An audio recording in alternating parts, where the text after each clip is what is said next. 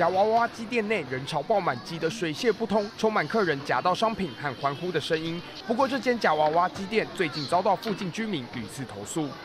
有民众投诉，这间夹娃娃机店只要一到下班时间，不但店里闹哄哄，店外汽机车违停情况非常严重，甚至造成交通打劫，充斥喇叭声，吵得附近居民不堪其扰。就马马路都那个堵车啊，啊，都白天来啊，晚上不敢来。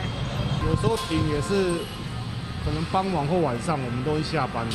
桃园这间占地一百多平的假娃娃机店，二月开幕后，因为机台多，商品大多都是吃的，很多民众很感兴趣，才会造成乱象。店家表示会尽量改善声量问题，会以广播的方式跟他们说，请他们声音稍微小一点，因为毕竟晚上客人是最多的时候。至于交通堵塞问题，警方也出面管理。目前已与该店家协调约制，并请业者在店外摆放红龙绳，引导顾客进出车流。警方在上下班时段加强取缔违停的车辆，盼前来消费的客人也能发挥公德心，还给附近居民安宁的环境。记者刘志展、李宗泽桃园采访报道。